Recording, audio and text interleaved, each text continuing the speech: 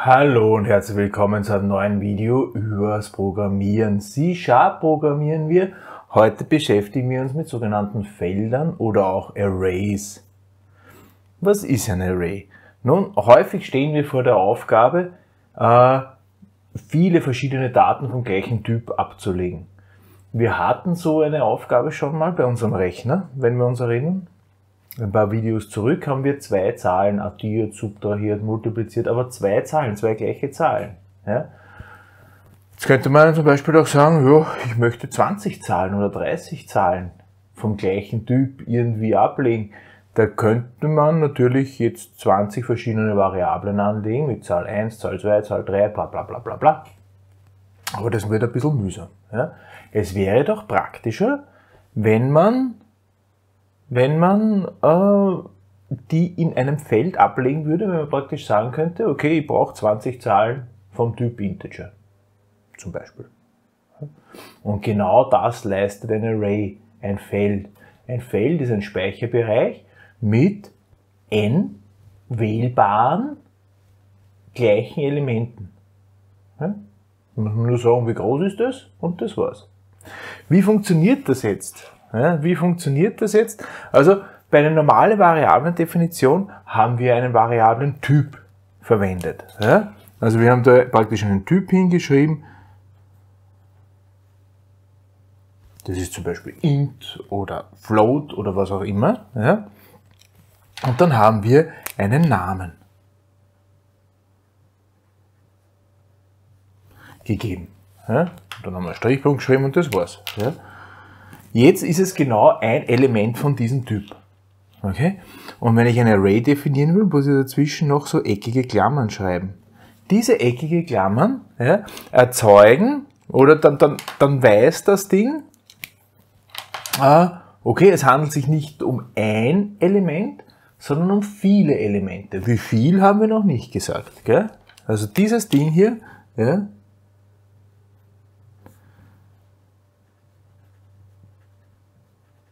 definiert, dass die Variable Name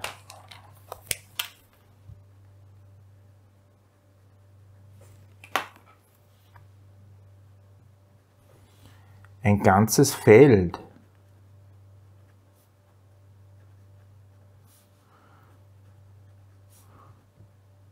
vom Typ Typ ist.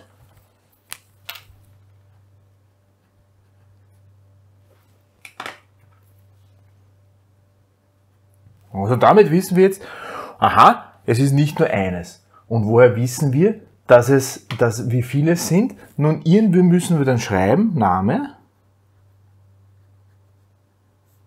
Und jetzt schreiben wir ist gleich. Ja. Und jetzt brauchen wir ein, einen Befehl, der heißt new. Und dann schreiben wir wieder Typ genau den gleichen Typ, den wir da oben verwendet haben. Eckige Klammer auf und n. N, eine Zahl, die wir uns aussuchen können. Natürlich nicht 0. Ja. 1, 1 würde schon gehen. Ja. Da. Damit wird festgelegt,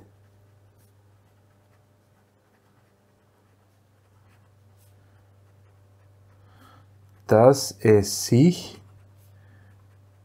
um ein Feld von n Elementen handelt. Okay? Jetzt, da sage ich, aha, es ist ein Feld und hier sage ich, ja, ich mache ein neues Feld, bitte das kann man übrigens gleich da hinten dran schreiben. Ja, kann man gleich da hinten dran schreiben. Und, und das war's. Ja, so funktioniert das. Ja, so funktioniert eine Array-Definition. Initialisieren kann ich auch. Zum Beispiel, wenn ich schreibe Name, ist gleich New Type. Und jetzt, wenn ich es initialisiere, kann ich zum Beispiel auch so machen. Jetzt wissen wir gar nicht, hey, wie viel, wie viel haben wir noch? Ja, wie viel kommen denn hier?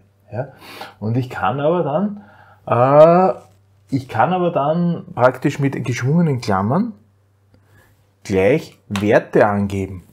Also zum Beispiel konnte ich schreiben 0, ja? dann mache ich einen Beistrich, einen Beistrich, ja, dann schreibe ich 20, Beistrich 12, Beistrich 4.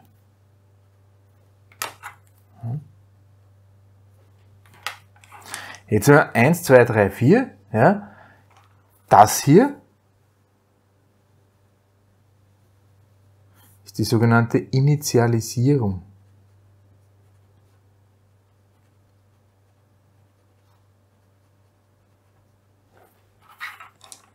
Ja. Ergebnis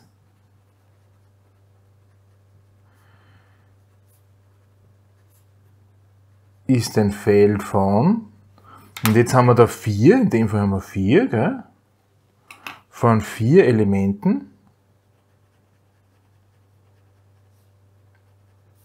des Typs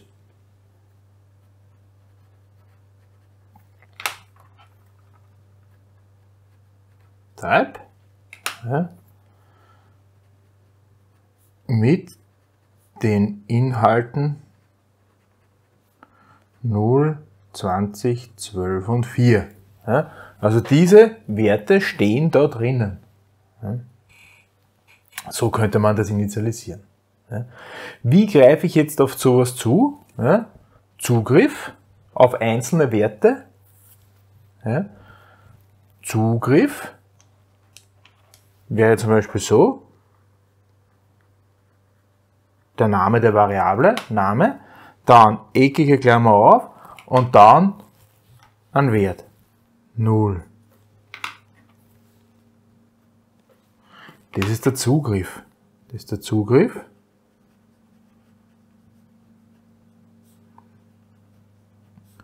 auf das erste Element des Arrays, des Feldes. Hier wäre 0 drinnen. Wenn jetzt zum Beispiel Name, geschwungene Klammer auf, und ich schreibe da 2 rein. 2. Ja? Auf welches Element werde ich jetzt zugreifen? 0 ist das erste, 1 ist das zweite, 3, äh, 2 ist das dritte. Ja? Also das ist jetzt praktisch Zugriff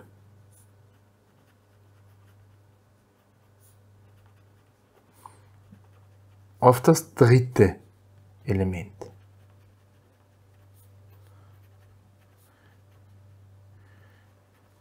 Hier würde 12 drinnen stehen. Warum 12? Ja, schau mal, da ist der Nuller. Ja, der ist da. Da ist der Zwölfer, der steht an dritter Position. Der ist da. Ja. Deswegen 12. Ja. Ein Beispiel. Ja. Ein Beispiel.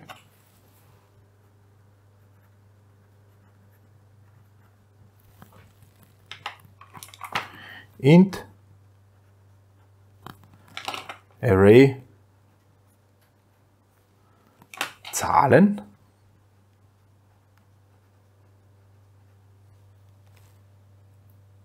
ist gleich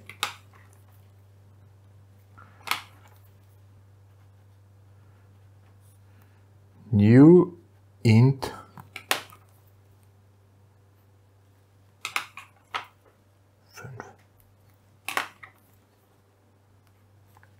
Das definiert jetzt ein Integer-Feld mit Zahlen und zwar fünf verschiedene Zahlen. Ja? Was drinnen steht, haben wir nicht initialisiert, wissen wir nicht. Ja? Aber es ist zumindest angelegt. Strichpunkt brauchen wir auch noch, sind wir fertig. Ja? Also das ist ein Feld. Das ist ein Feld. Ja? Zugriff auf Felder, da kann ich was zuweisen oder rauslesen, dann ist dann praktisch eine ganz normale Variable. Der Feldname selbst ist übrigens nur ein Zeiger oder die Adresse im Speicher. Und da, dahinter verbirgt sich gar nichts. Ja. Da, da, steht nur drinnen, wo findet man das? Wo findet man das? Ja, das steht dann im Namen drinnen. Die Position im Speicher. Zeiger werden wir aber noch machen. Also zugreifen, da wir jetzt im ersten Moment einmal so. Okay? Auf die einzelnen Elemente. Ja. Erase. Also, im nachfolgenden äh, Beispiel werden wir unseren Rechner erweitern. Ja? Werden wir unseren Rechner erweitern. Wir werden den erweitern. Äh, addieren wir halt vier Zahlen. Nehmen wir vier Zahlen, die addieren wir, subtrahieren wir, multiplizieren wir. Das lassen wir gleich.